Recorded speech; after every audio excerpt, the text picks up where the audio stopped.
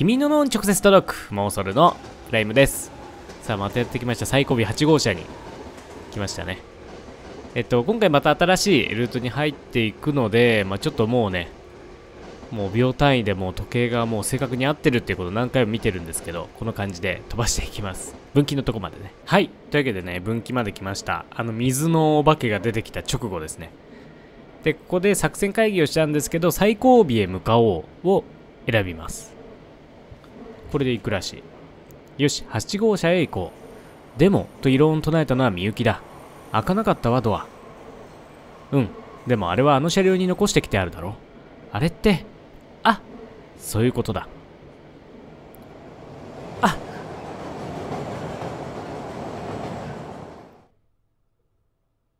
8号車。戻ってきちゃいましたね。残してきたあれ。つまりメジャーとガムテープの仕掛けで乗務員室のドアはあっさりと開いた。あここら辺も一緒だね。なんか同じっぽいけど。同じなどのどのルートで見たかも分かんなくなってきたな。でもここら辺見たよね。はい。なんでポンポーンと飛ばしていきます。はい。というわけでね5号車まで来ました。結局あの前と同じように車掌室だっけ？行っていろいろなんかボタン押したりだなんだして水よけてきてここって感じですね。どうやら難関を突破したようだ。もっともあれが最後の難関であるという保証はどこにもないがみゆきがあらと声を上げたのは僕が友道をほとんど引っ張るようにジャンプさせたその直後だった。どうした？人がいるわ。うん。あこの少女のやつね。めっちゃ怖いよねこれね。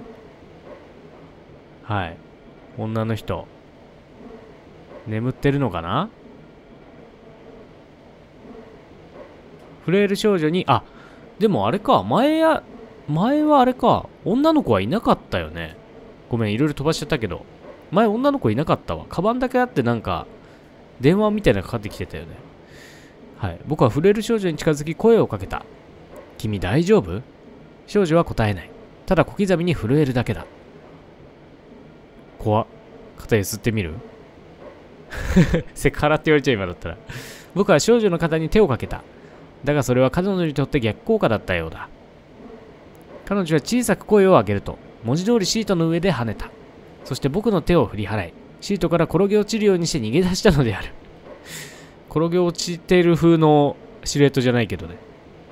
おい君慌てて少女の腕を掴もうとしてがそんなにしたら怖いよな。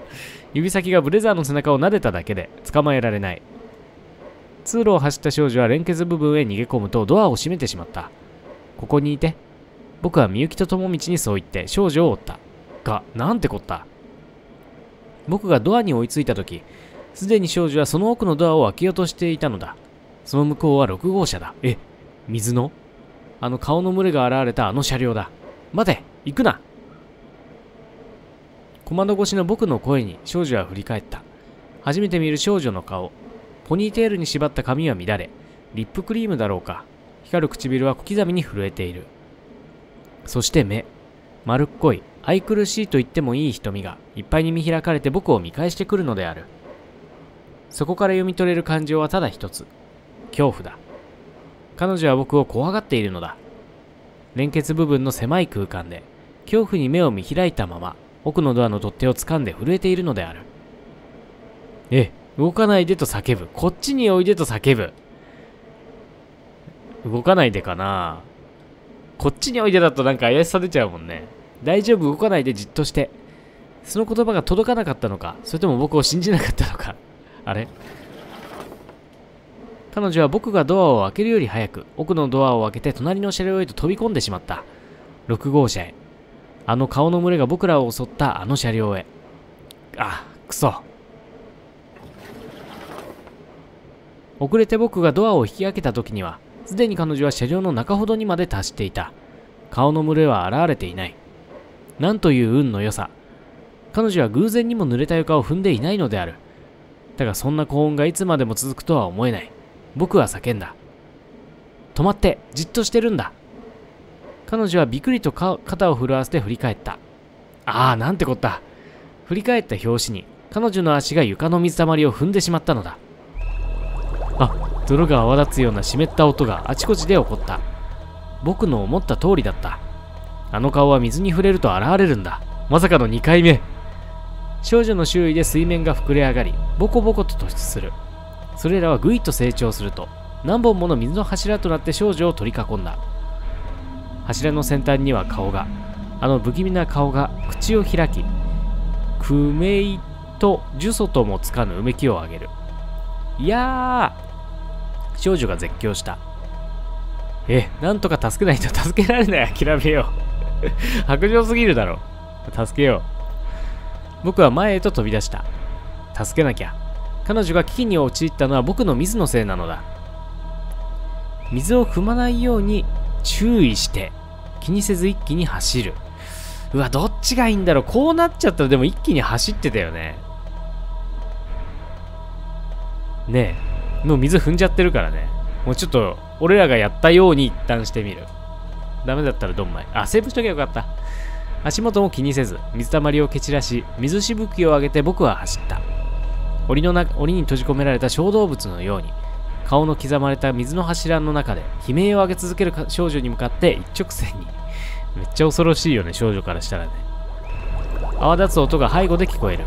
だが僕は振り返らなかった。見なくても何が起きているのかわかる。僕の踏みつけた水面から走る僕を追うように次々と顔が出現しているのだ。こんちくしょう僕は少女を囲んだ水の柱に頭から飛び込んだ。バケツの水を叩きつけられたように柱がしぶきとなって僕の体を濡らす。そのゾッとする冷たさを無視して僕は目の前の少女を両腕で抱き込んだ。えこのまま7号車行った方がいいんじゃない ?U ターンしたらね。7号車行っちゃおう。そのまま止まらずに僕はさらに前へと走った。少女を引きずるようにして後方の7号車へ。開け放たれたままのドアへ。僕は少女もろとも転がるように飛び込んだ。ついさっきみゆきと友道と一緒にこの車両を抜けるとき7号車へのドアは2枚とも開けておいたのだ。でもあの車両連結部のドアって勝手に閉まるイメージだけどな。昔は違うのかな。別に意味があってそうしたわけではない。けれど今それが僕をそしてこの少女を救ったのである。あよかった。勢い余って少女ともつれ合ったまま床を転がった。あちこちぶつけて膝と肩は特に鋭い痛みが走る。だがまだだ。まだ逃げ切れたわけじゃない。ひっくり返った少女をそのままに僕は飛び起きるとドアを2枚とも閉めた。めっちゃビチョビチョ言ってるけど大丈夫。その向こうで叩きつけるような水温がいくつも起こる。透明の顔がドアにぶつかり水しぶきとなって飛び散る音だ。いつ果てるともなく続く音を聞きながら僕はドアに背を押し付ける。ぐっしょり濡れた背中が気持ち悪い。この濡れてんの大丈夫なのかな？よう大丈夫か？荒い息のまま笑みを投げる僕に少女は一言ごめんと言った。なんでタメ口なんだよ。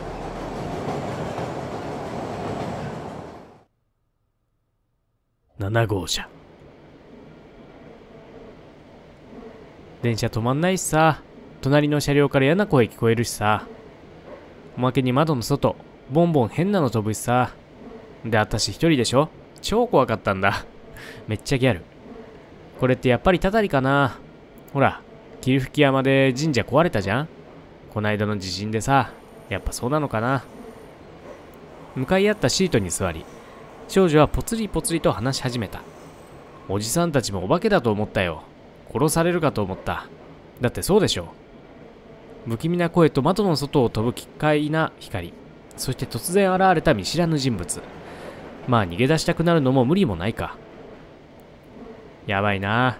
少女は言った。私今日遅くなるって言ってないんだよね。親に。今から電話しても逆に怒られるだけだし。でもこの子も終電で帰ろうとしてたってことだね。結構遊んでたのかしら。こっそり帰ってまた明日学校行ってそれから帰って言い訳するのがベストなんだけどね。結構遊んでる子っぽい。無理かな今夜中に帰るの。無理そうだね。かもな。そう相づちを打ちながら。けれど僕はそれが単純に時間がかかるというだけの意味ではないことを知っていた。今夜中に帰ることはうまくいけば不可能ではないかもしれない。けれどもしもそれがダメだった場合僕らは永久に家へ帰れない。列車が止まらないという事態には実は重大な結末が待っているのだ。たまたま僕ら全員がダイヤの変更を知らない大間抜けだったという可能性を除けば電車が止まらないということはトラブルが発生しているということだ。運転士にではない。それも可能性のうちだがしかしもしそうなら運転指令所が異常に気づく。そしてその時点で外部からの操作で列車を止めるはずだ。そうだよね。よくは知らないが例えば ATS とかいう装置は信号が赤になるだけで自動的に電車をストップさせるという。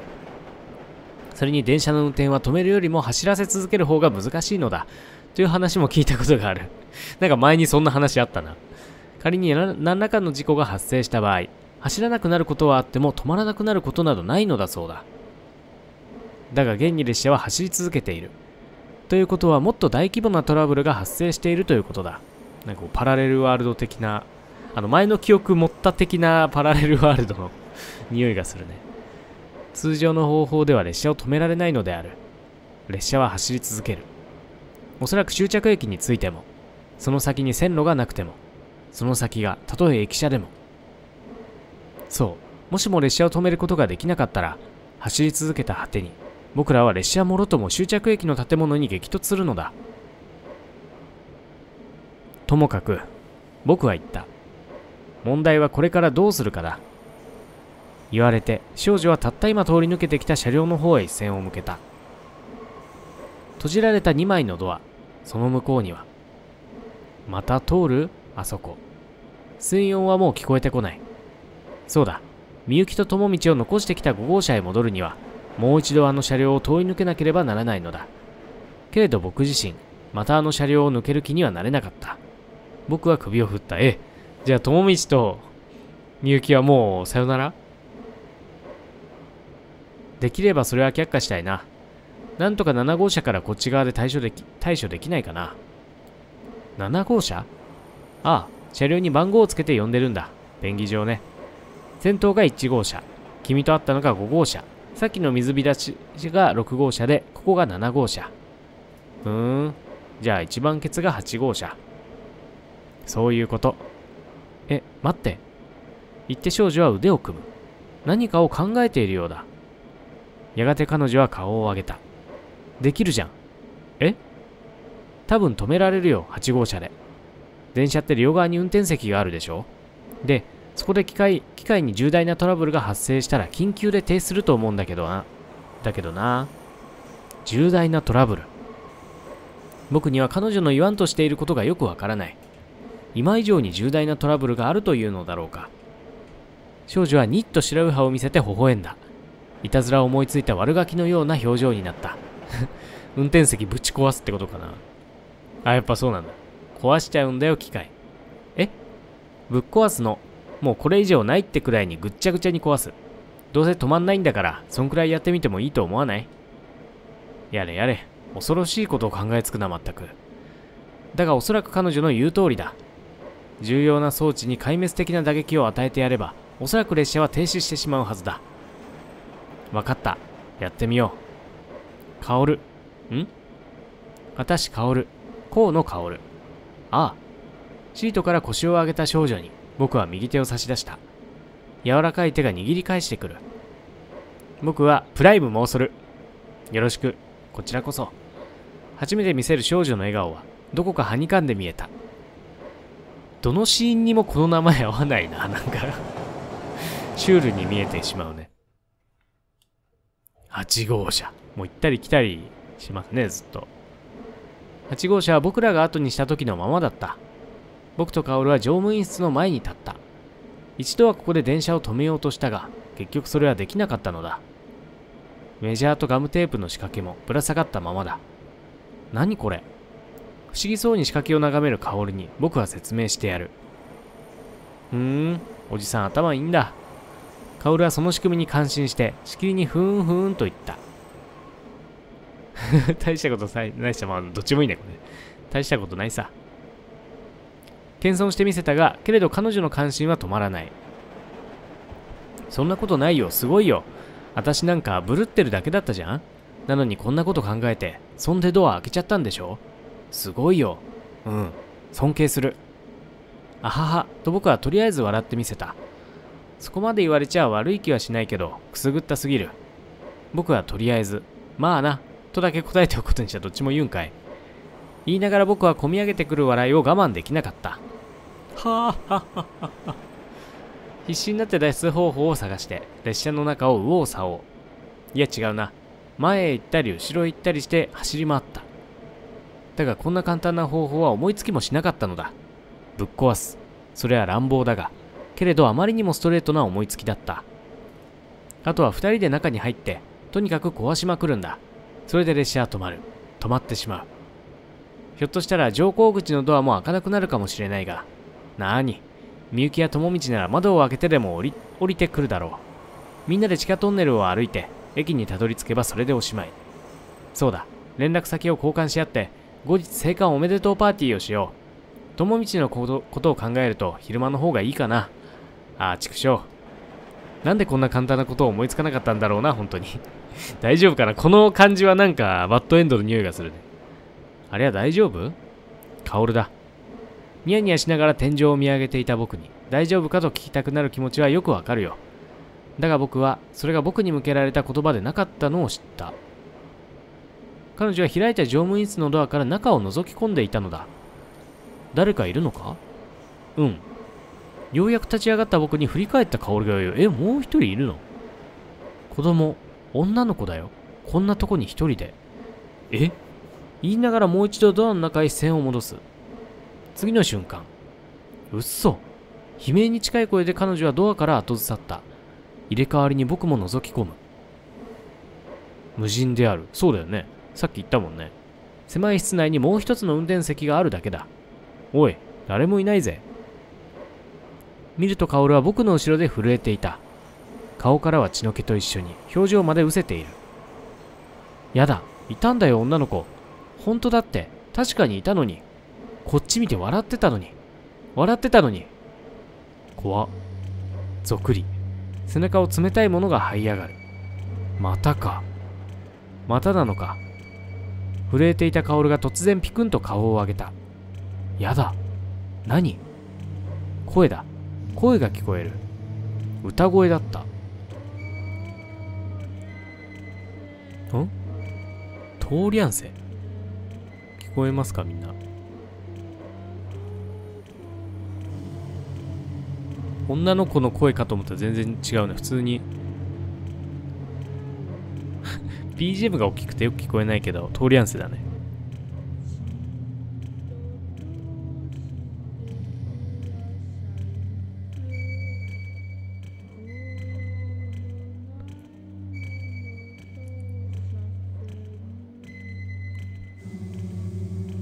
小さな女の子の声だった？小さな女の子の声だったかな？まあいいか。歌っている。舌足らずの頼りない声で女の子が歌っている。僕は周囲を見回した。人影はない。僕と薫だけだ。だがその声は僕らの間近で聞こえるのだ。薫が耳を押さえて座り込んだ。僕は乗務員室を覗き込む。無人。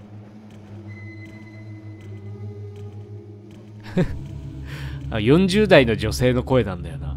わかんない。俺のイメージ。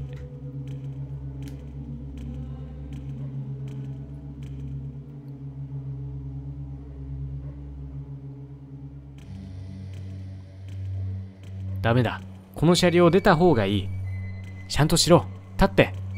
だが薫は動かない。ただしゃがみ込んで頭を抱えるだけだ。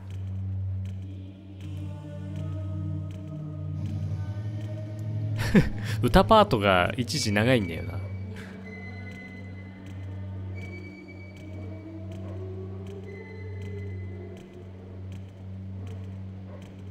薫僕が薫の肩に手をかけた。まさにその瞬間。